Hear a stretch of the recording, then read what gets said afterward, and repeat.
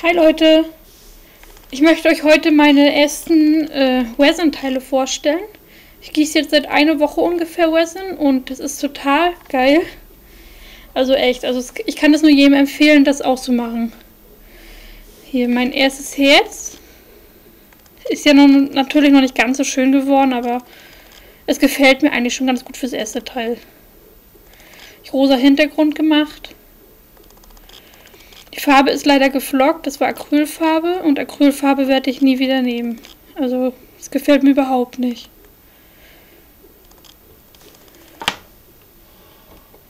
Dann habe ich hier eine Blume, äh, ja, eine Blume mit einem Schmetterling drin, blauer Hintergrund. Das finde ich schon viel besser. Das war so ein Kristallsticker. Und dann habe ich weißen Hintergrund genommen, leider auch Acrylfarbe. Die ist leider auch geflockt. Ja, aber ist trotzdem gar nicht schlecht eigentlich. So, dann habe ich hier nochmal eine Blume, auch mit einem Schmetterling. Diesmal habe ich versucht, eine Wiese nachzuimitieren.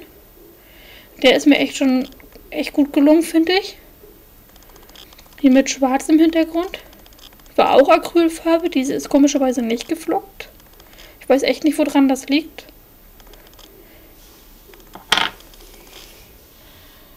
Dann muss ich euch mal den zeigen. Der ist so süß. Ich finde den Teddy ja... Ja, Teddy, ich finde den so niedlich. Davon habe ich auch ganz viele von diesen Babystickern. Ich werde die alle eingießen. Die sind so niedlich.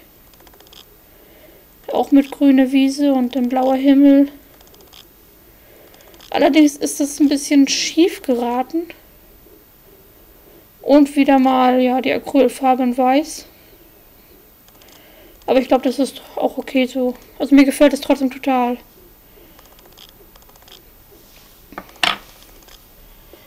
Dann habe ich auch nochmal in so eine runden Form. Dann habe ich ein Herz reingelegt, ein Foliensticker. Hintergrund dann in Blau und hier mit so einem Stäbchen Glitter.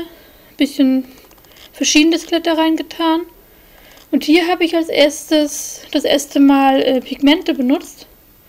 Die benutze ich auch für meine Kosmetika und das hat wunderbar geklappt. Also bin ich begeistert von eigentlich.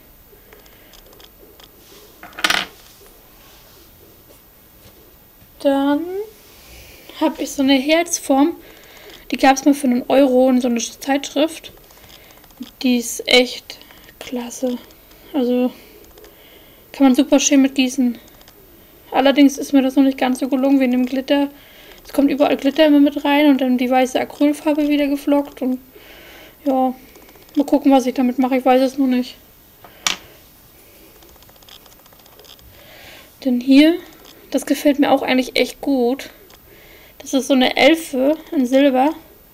Das ist so ein, ja, Stoff.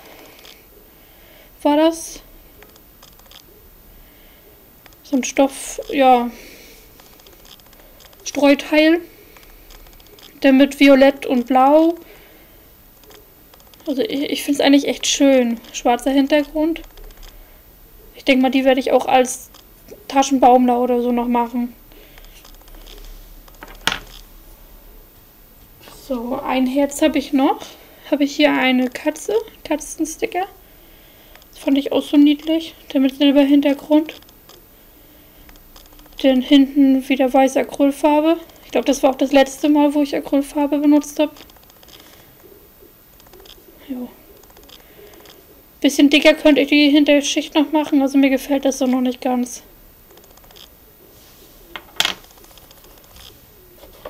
Dann habe ich einen Stern. Stern an Stern, wie auch immer. Mit Silber, ja, Glitter und so ein Pünktchen Streusholz. Also mir gefällt das eigentlich echt gut. Dann wieder weißer Hintergrund mit Pigmente, ein bisschen durchscheint. Weiß nicht, ob man das sieht. Ich glaube nicht.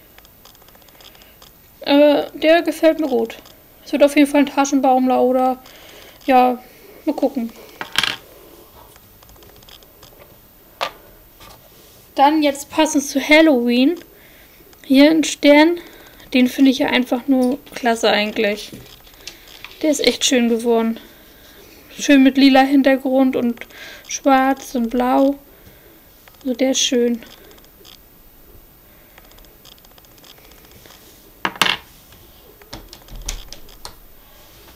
Hm. Dann habe ich ja den hier. Das war in so ein Muffinförmchen, so eine Herzform. Die machen sich eigentlich ganz gut, nur leider kommt es dann matt raus. Und das gefällt mir eben noch nicht so, aber habe das dann zweimal lackiert. Jetzt glitzert es erstmal ganz gut. Aber ich suche auf jeden Fall noch einen anderen Lack. Also der gefällt mir noch nicht. Ja, Luftballon mit einem Herzchen, ein paar Herzchen hier drin so. Dann habe ich hinten habe ich versucht von einem Textmarker habe ich Farbe mit reingemacht. Ich hätte noch ein bisschen mehr machen können. Und das ist natürlich immer wieder ein bisschen schief geraten. Ich weiß nicht, wieso meins immer alles schief wird. Ich verstehe das nicht. Eigentlich liegt das gerade, aber hm, ich weiß es nicht.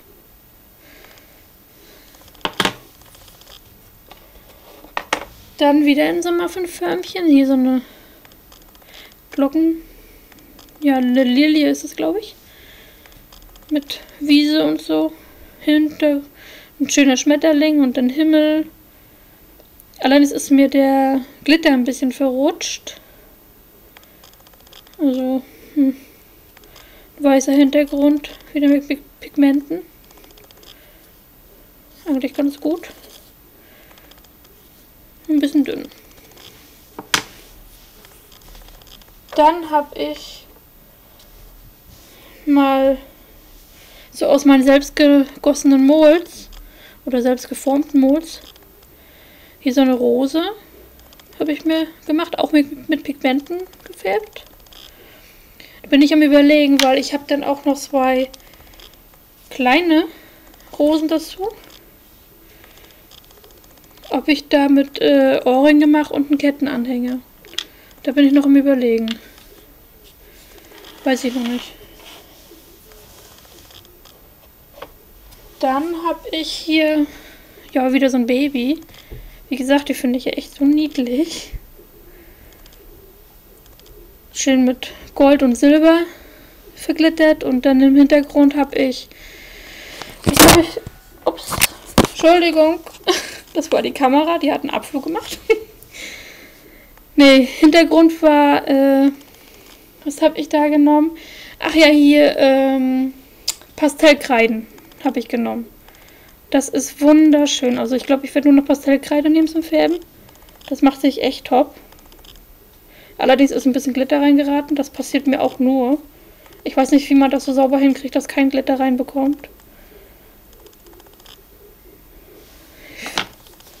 So, dann habe ich eine Eule gegossen. Diesmal habe ich bunte Mikroperlen reingetan. Ich finde den Effekt finde ich eigentlich echt ganz schön. Weiß nicht, ob er euch auch so gefällt, aber mir gefällt das eigentlich ganz gut. Dann hinten habe ich blau gefärbt, auch wieder mit Pastellkreide. Bisschen durchscheint. Transparent so ein bisschen. Minimal. Ja, also der gefällt mir echt super. Dann habe ich mal wieder hier sowas. Zum Halloween jetzt nachher so ein bisschen so ein Charme eingegossen in schwarzem Glitter und lila. Leider sieht man das Schwarz nicht mehr, dadurch, weil ich auch schwarzen Hintergrund genommen habe. Und ja, ich hätte ein bisschen Silber mit reintun sollen, glaube ich. Würde besser aussehen. Aber mir gefällt er trotzdem gut. So, dann habe ich zwei, die ein bisschen misslungen sind. Der ist zum Beispiel, weil das war auch wieder eine selbstgemachte Form. Und ich glaube, die muss irgendwie schief sein oder so. Weil das ist komplett eigentlich zur einen Seite gelaufen. Ist hier jetzt äh, mehr weiß wie hier. Und ja, ist nicht so schön. Also ich weiß nicht, was ich damit machen soll. Ich den meine, äh, meinen Enkeln oder so schenken tue. Schade um den Sticker.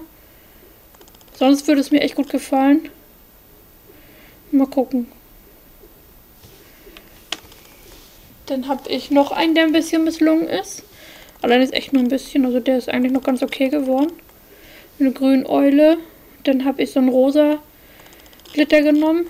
Leider, wie gesagt, auch wieder so eine Form. Ein bisschen, ja, nicht ganz so geworden. Vor es geht eigentlich. Fehlt nur hier oben an der Ecke. Da ist ein bisschen zu wenig. Nur wie gesagt, weißer Hintergrund. Wieder mit Glitter drin. ja, nicht so schlimm. So, und dann finde ich ja, ist auch eine selbstgemachte Form gewesen. Die habe ich, glaube ich, mal von der Sarah bekommen. Aber weil die musste ich unbedingt, musste ich mir das gießen, weil der sieht meinem Hund so ähnlich. Mein Hund ist Malteser und das ist absolut niedlich. Gefärbt habe ich das mit äh, Fimo Goldlack oder Goldmetall-Zeugs da zum Betüpfeln. Ich habe das mal einfach mal ausprobiert und ich finde das total cool, den Effekt.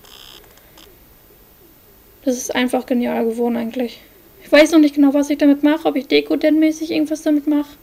Würde ich auch ausprobieren unbedingt. Ja. So, und als letztes habe ich noch ein Medaillon gemacht. Das war das einzigste Medaillon, was ich hatte. Leider in Gold. Muss ich erstmal was Passendes finden. Aber ich finde es echt schön geworden. Also das ist echt... Ich denke mal, da werde ich eine goldene Kette ranmachen. Und dann, ja. Ich finde das so schön. Ich brauche unbedingt mehr Medaillons. Ich habe irgendwie noch gar nicht sowas. So, wer das hört, Tauschpakete. Ich mache immer gerne Tauschpakete, könnt ihr mich alle anschreiben. Also, ich liebe Tauschpakete. Und ich freue mich auch total über Eulen oder über Dollys. Also, ich liebe das ja. So, ja. Freut mich, dass ihr zugehört habt. Ich hoffe, ich melde mich bald mal wieder. Und ja, schreibt mir Kommentare am besten unter, was euch so schönes gefallen hat und so. Und dann sage ich erstmal Tschüss.